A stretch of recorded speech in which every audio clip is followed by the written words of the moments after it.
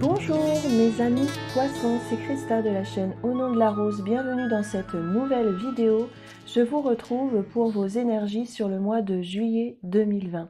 Donc j'ai utilisé pour vous un tarot qui s'appelle le Radiant Wise Spirit Tarot pour vos énergies principales à l'aide de 9 cartes. On va regarder un petit peu ensemble la température énergétique de votre mois de juillet 2020 en découvrant les cartes.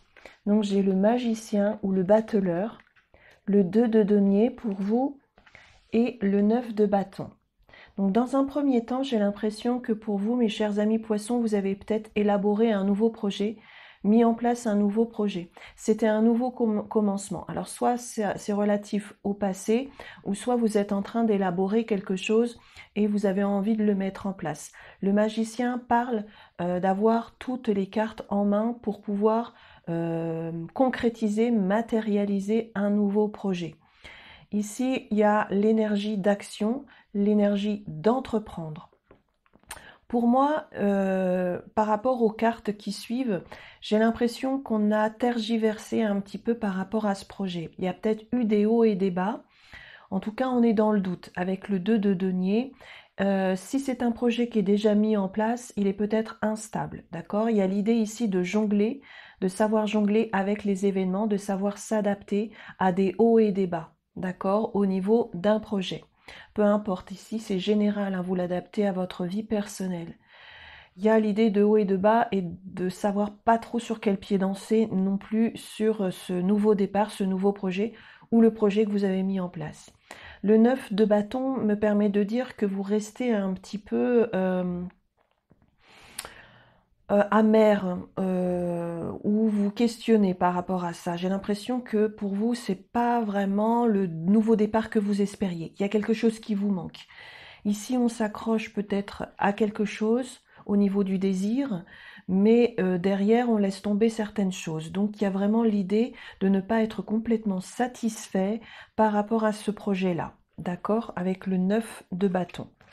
Pourtant, ici, avec le 6 de bâton, on me parle de victoire. J'ai l'impression que euh, vous vous doutez de votre victoire ou bien tout simplement vous ne pensez pas que ce euh, projet euh, relève d'une certaine victoire pour vous, d'un certain accomplissement. J'ai l'impression que c'est plutôt les autres qui pensent que votre projet ou ce que vous, vous entreprenez est une réussite. Cependant, vous, il vous manque vraiment quelque chose, vous restez un petit peu sur le carreau, je dirais, par rapport à ça. Euh, voilà, il y a des hauts et des bas pour vous. Donc, pour moi, cette victoire, elle n'est pas totale. J'ai l'impression que ce sont les autres qui estiment que vous êtes victorieux sur cette situation, mais pas vous. Il y a l'idée avec l'ermite de revenir un petit peu sur cette situation passée. Oui, c'est un projet passé, j'ai l'impression. Il y a l'idée avec l'ermite d'une introspection, de regarder euh, en arrière, pour pouvoir analyser les choses. Vous êtes ici en quête de vérité par rapport à cette situation-là dans un domaine de votre vie.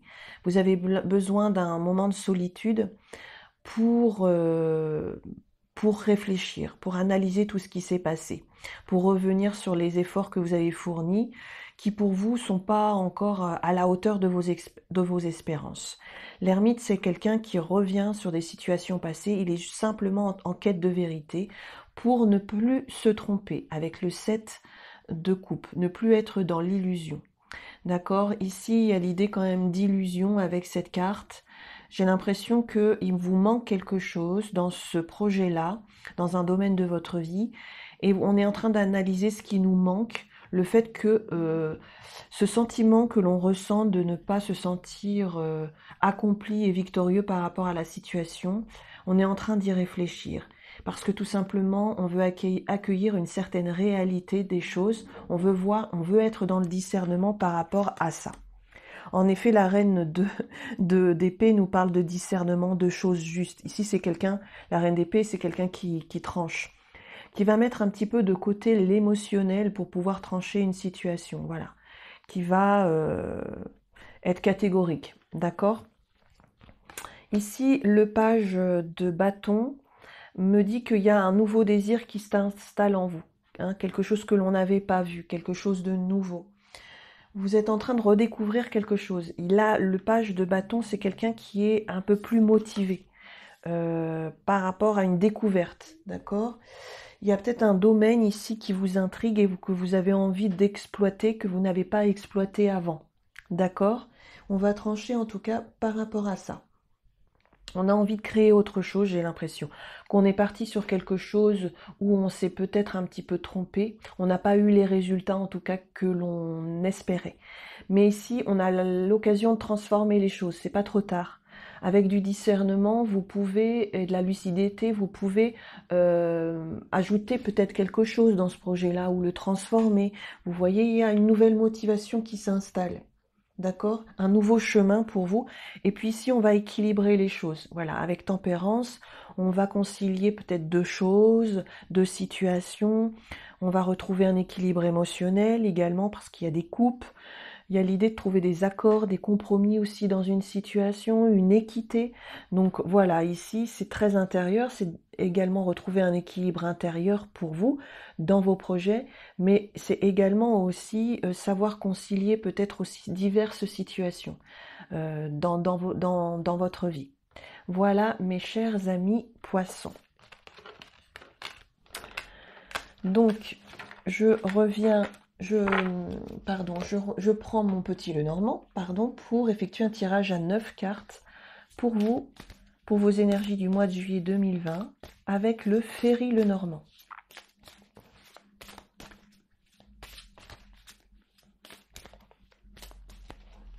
On va regarder la coupe. Il y a un conflit. Il y a un conflit, il y a des disputes. Soit il y a une personne qui ne vous entend pas dans ce que vous avez à lui dire, ou soit c'est vous qui n'entendez pas. Hein, D'accord? Il y a une dispute, il y a un conflit ici pour vous. Mais on va trouver les solutions. Hein. Ça peut être un conflit intérieur ou un conflit avec une autre personne. D'accord? Là, on trouve les solutions. Il y a une ascension, il y a une transformation des choses avec la carte du soleil.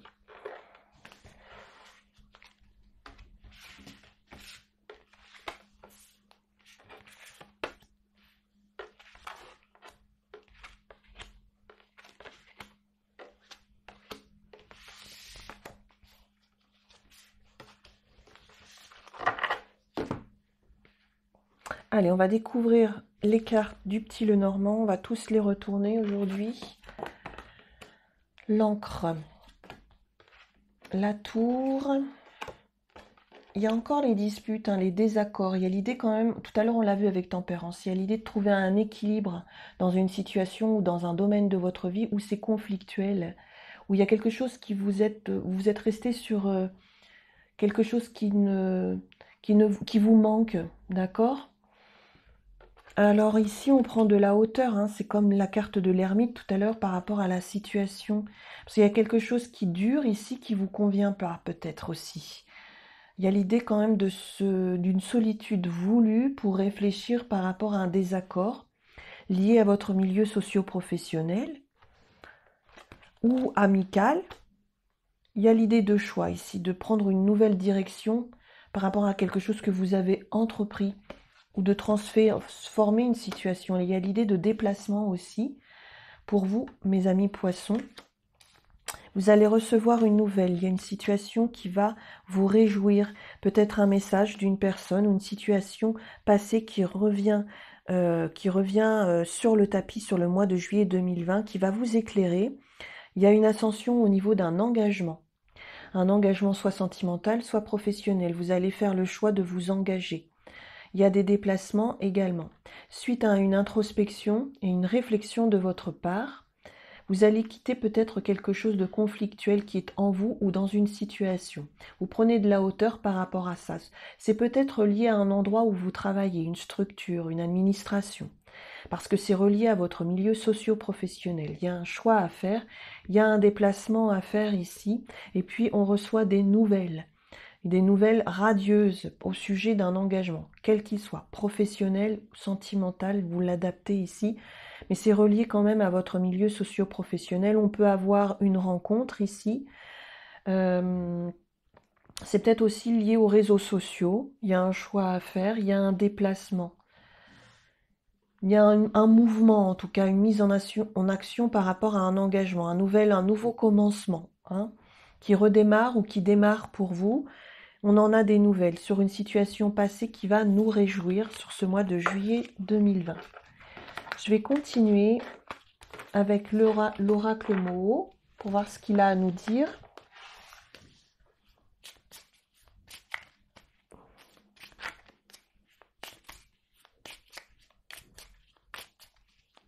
Pour les amis poissons, juillet 2020.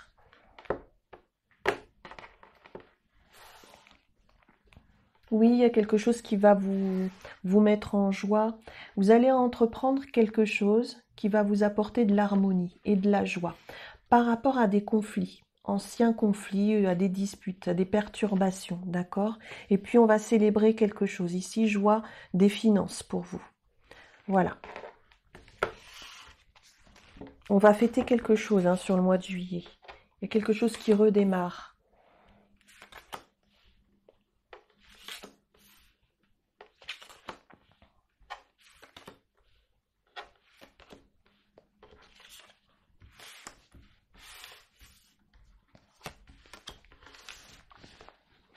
Voilà, on va découvrir encore les cartes ensemble avec le mot lumière. On porte la lumière, un éclairage sur une situation concernant une tierce personne dans notre vie. Parce que c'était flou avec cette personne-là. C'est peut-être les disputes hein, que j'ai vues tout à l'heure, le conflit.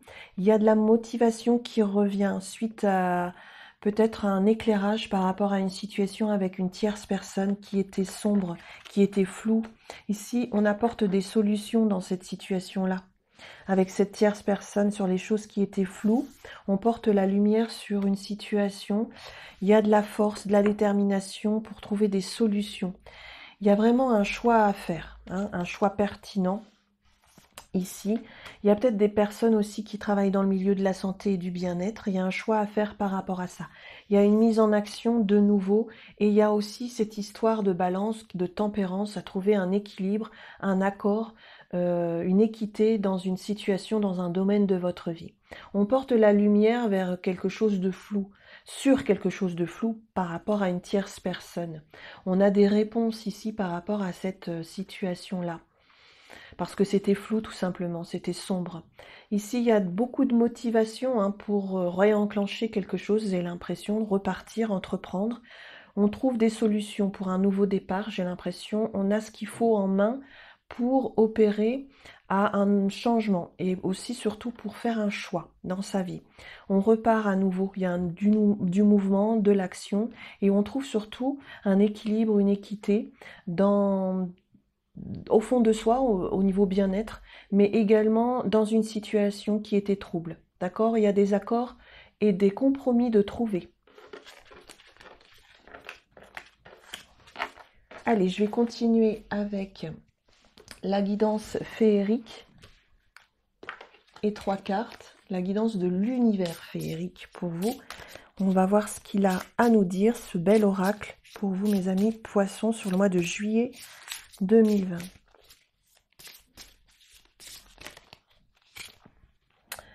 Ici, il y a peut-être euh, eu une certaine déception. Vous avez été découragé à un moment donné dans une situation. Vous avez peut-être aussi perdu quelque chose. Et tout à l'heure, je parlais de manque. Il vous a peut-être manqué quelque chose dans une situation.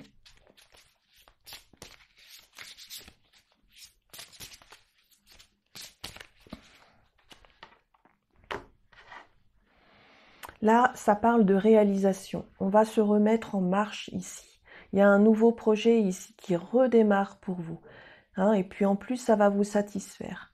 On va quitter ce qui nous convient plus par rapport au passé, ce qui nous a rendu un petit peu amer, on va dire, et puis on va repartir sur quelque chose de, nouveau qui va nous satisfaire. Ça parle de capacité aussi, hein, d'avoir tous les outils en main pour pouvoir se réaliser et réaliser un nouveau projet et là, ça me parle encore de joie, de cadeaux, de plaisir. Euh, ici, ça parle encore de bien-être. Il y a certains poissons aussi qui ont envie de démarrer un projet au niveau euh, thérapie ou bien-être, en tout cas prendre soin euh, des autres. Pour certains autres poissons, ici, on prend soin de soi tout simplement. On fait, on s'amuse, voilà, on, on fait des choses simples, on revient à des, loisirs en toute simplicité. Et puis aussi pour certains autres, il y a aussi des, des cadeaux. Voilà, des cadeaux, un cadeau de la vie, une nouvelle réalisation de soi dans un projet. Je vais y arriver, des fois je bafouille.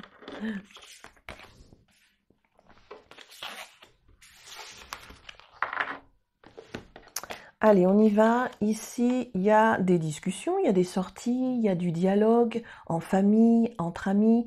Il y a ici l'idée aussi de fêter quelque chose. On l'a vu tout à l'heure, hein, l'idée de réunion, hein, de sociabilité. Et tant mieux parce que après cette période de confinement, on a quand même un petit peu envie de revoir nos proches. Hein, voilà. Il y a l'idée de réunion familiale, de sortie amicale. Voilà, et de fêter quelque chose. On me parle d'amour ici pour vous, les poissons, au niveau sentimental.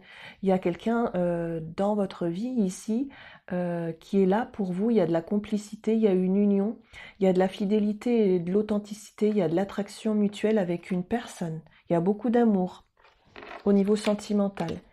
Et ici, il y a une méfiance, c'est bizarre, il y a, vous avez une certaine inquiétude par rapport à une situation. C'est peut-être pas forcément relié à cette histoire d'amour, hein, ou l'amour que vous portez à une personne. Ici, il y a quand même l'idée d'attitude sauvage, il parle sur la carte, oui, de, de retrait, d'inquiétude, de, suspicion. Alors là, vous le reliez ici à votre vie personnelle. Je vais essayer de développer avec le Line of Love. On va voir si ça nous dit quelque chose à ce niveau-là.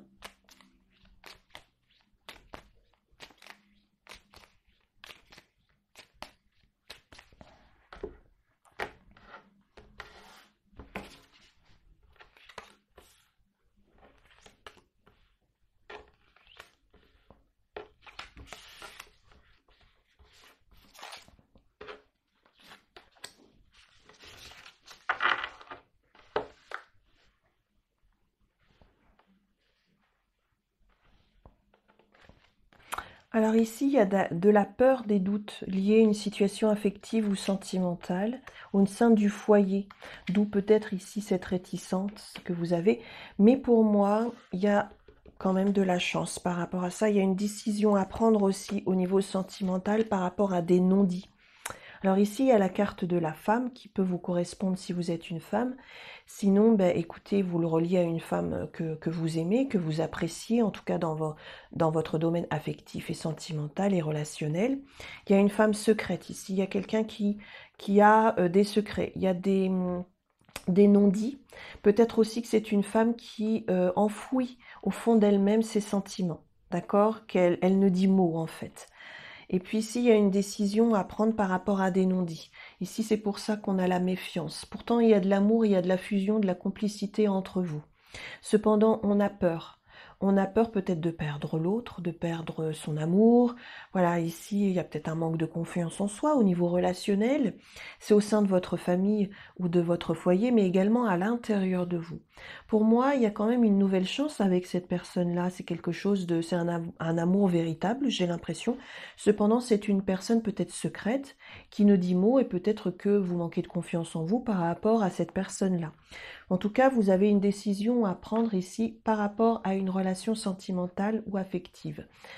Ici, voilà, vous le reliez en fonction euh, de votre vie. Pour certains poissons, il y a aussi une nouvelle chance, une nouvelle opportunité amoureuse mais on a peur, on a des doutes, on se méfie. Peut-être qu'on n'a pas envie d'être trompé à nouveau ou voilà, par rapport à des situations passées. Parce que ici, il y a quand même une personne qui a en face de vous, peut-être qui est aimante, mais qui garde des secrets au fond d'elle. D'accord? Peut-être qu'elle garde ses sentiments tout simplement et, elle ne le, elle ne les vous, elle ne les vous avoue pas tout de suite. Eh ben dis donc, j'ai eu du mal. Hein À force de parler, on bafouille. Hein. Voilà. Enfin, je pense que vous avez compris. Je vais terminer votre guidance avec l'oracle de la sagesse et trois cartes conseils pour les amis poissons.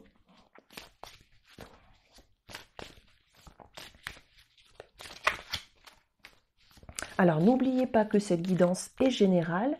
Si vous souhaitez une guidance personnalisée, vous pouvez utiliser mon adresse mail qui se situe en barre d'infos sous cette vidéo. Vous pouvez m'écrire et m'en faire la demande de guidance personnalisée. Je vous enverrai toutes les informations.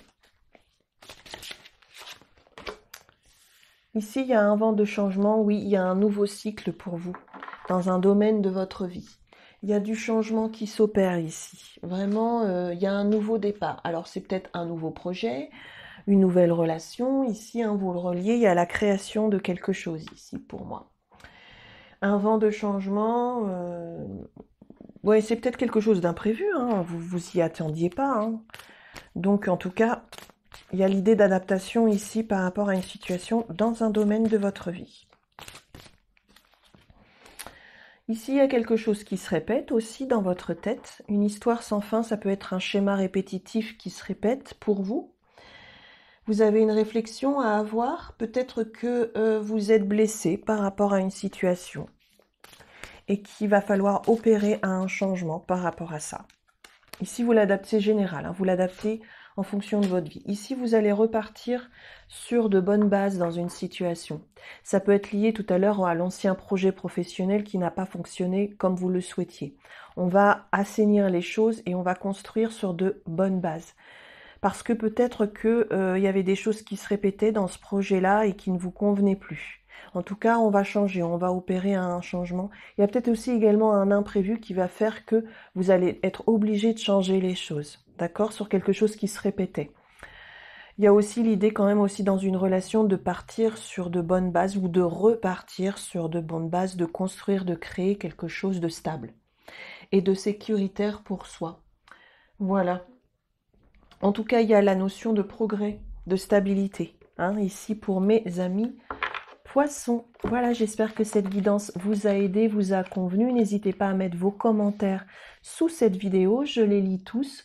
Alors, parfois, je n'ai pas le temps d'y répondre, donc veuillez m'excuser, mais en tout cas, je les lis tous et euh, tous vos commentaires me touchent énormément. Merci beaucoup pour tout ça, pour ce partage bienveillant. Je vais vous souhaiter un bon mois de juillet 2020 et puis euh, on se retrouve pour bientôt pour de prochaines vidéos. Bye bye mes amis